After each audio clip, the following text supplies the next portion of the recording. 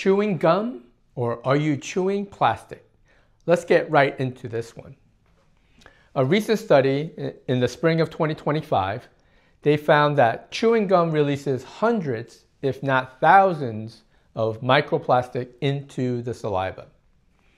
They tested five brands of synthetic and five brands of natural gums, and they found both released approximately the same amount of plastic into the saliva.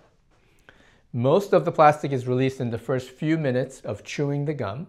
So if you're the type who like to get a fresh piece of gum every like hour, you're getting more exposure, okay? Unrelated to the study, some studies are suggesting that you have seven grams of microplastic in the brain, which can lead to cognitive decline, Alzheimer's, dementia, and other brain-related issues, okay? Now, Gum is really a just a very, very, very small piece of what is going on with the microplastics.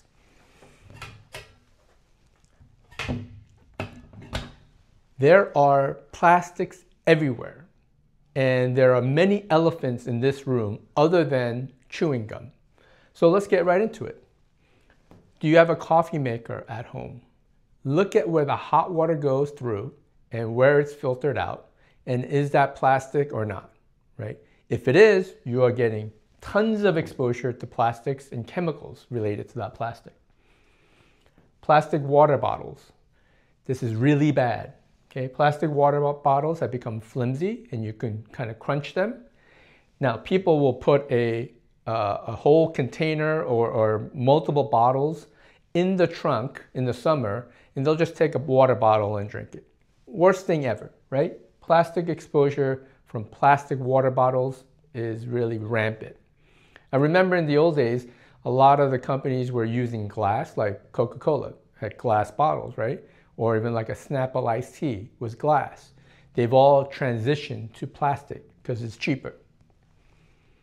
Tea bags, basically those nylon type of tea bags, every time you put it in the hot water, you're releasing plastics, right? Microwaving plastics and boiling plastics. It just drives me crazy when you have these products where you have a piece of meat in a plastic and they put it in the water, boiling water, so they can cook it. It's just, it doesn't make any sense. Stop microwaving plastics and stop boiling. As a matter of, as uh, boiling plastics. As a matter of fact, stop using your microwave. Cutting boards those plastic cutting boards. Every time you cut into it, right, it's getting in the food.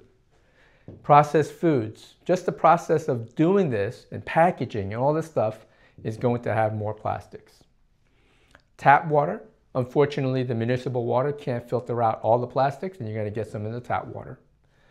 Seafood, unfortunately, humans are destroying the ocean and there's plenty of plastic in the water from all the water bottles. Yeah, I mean, you've seen it. You've seen different videos. You just go to like all these different countries and they just dump stuff in the river, right? hopefully it gets to the ocean or it clogs the river or stream. It's just, it's just insane.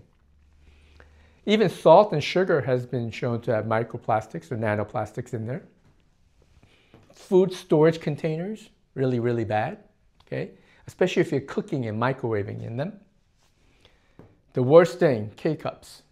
You know those little coffee pods made of plastic? You put it in your plastic coffee maker and, and put through hot boiling water right through that plastic.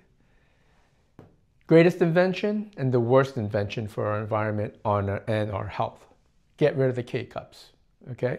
Get a French press if you want a coffee, like all steel, stainless steel French press, okay? What I'd like you guys to do is please list products you use to minimize plastic.